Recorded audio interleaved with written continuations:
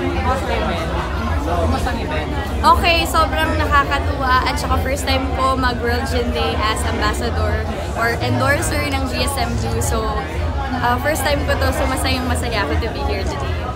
Ano yung ano, mga masasabi mong mga experience mo dito na seminar? Just to be on a stage with DP Awards back in Alex Calleja is a huge deal for me.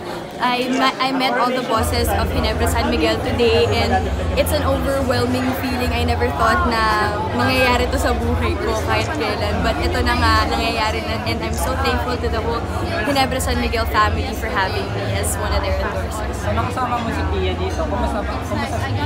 She's amazing. Actually, magkasama kami sa Korea for a week uh, a few months ago, I think.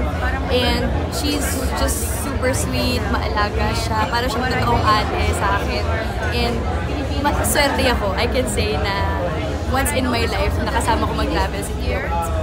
Hindi mo kasama si Yuang. Wala. Nakikita mo ba siya? Wala siya dito, di ba?